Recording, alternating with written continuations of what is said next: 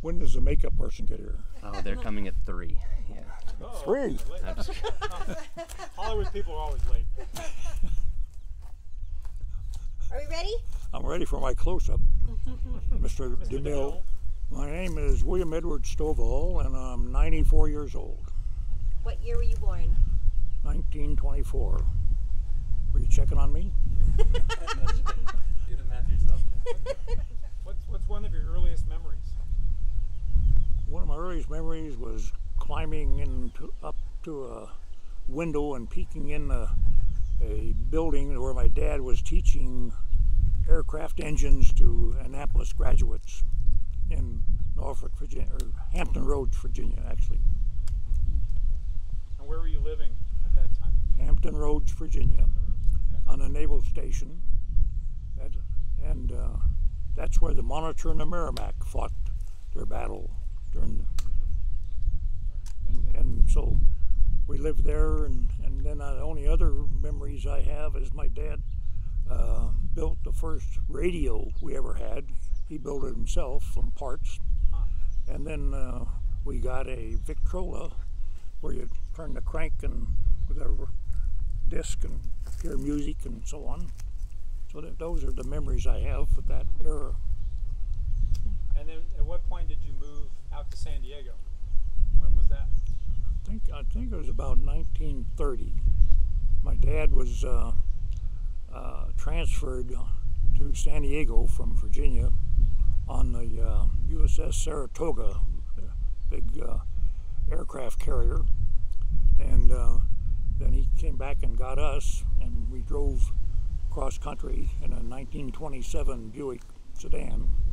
My mother and my brother and I, my dad. Do you remember anything about the trip?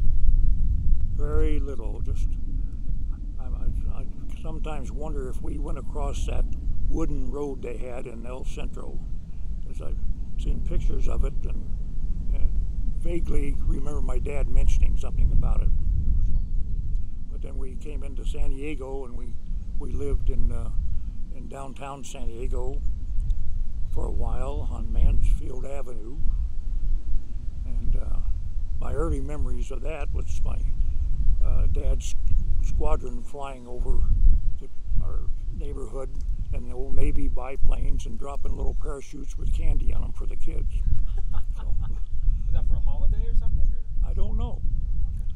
So then we, um, Didn't matter. He was a kid. Yeah. so I was going to the uh, Mansfield Avenue uh, Grammar School, and uh, I was uh, up at the drinking fountain one day, and uh, a young kid came up next to me and turned out to be Harold Baker, who was a friend of mine from Hampton Roads, Virginia. His his dad was in the Navy and had been transferred out to San Diego also.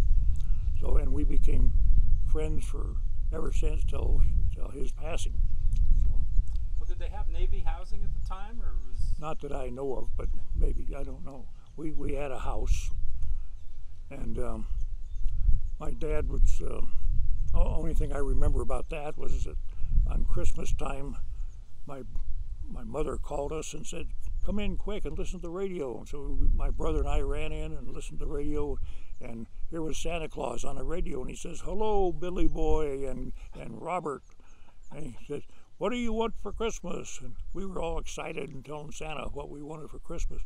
Turned out my dad had hooked up a little speaker and, and was hiding in the next room. So that's my, my only memory of that era.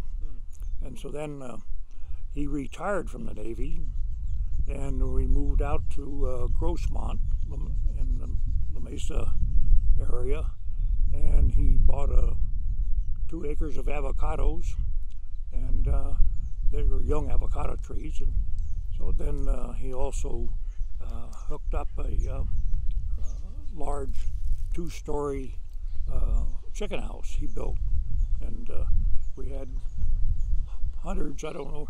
I sometimes say a thousand chickens, but I know that's too many. We had, but we had hundreds of chickens, and we sold eggs, collected eggs, and sold them to a, to a wholesaler in La Mesa.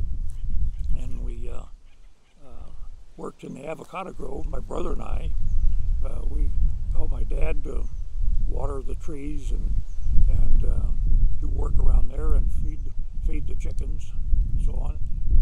The part I remember that I didn't care for too much was every so often my dad had my brother and I scrape all the chicken manure out of the, the building and uh, collect it in big piles.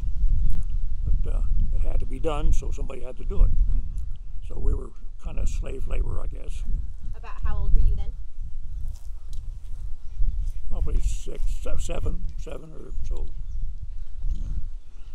So, uh, but anyway, then I went to uh, La Mesa Grammar School, and uh, and later uh, that was in downtown La Mesa, and then later to uh, Grossmont High School, and I graduated from Grossmont High School in uh, 1941, and uh, I wanted my dad wanted me to go to college, so uh, he he had encouraged me to to take summer school classes, which I did. So I got out of high school in three and a half years, and because I was a mid-year student, mid-year student, uh, you didn't graduate in September and all those things, or go to school in September. You didn't, and you had to uh, take special courses as as a mid-year student.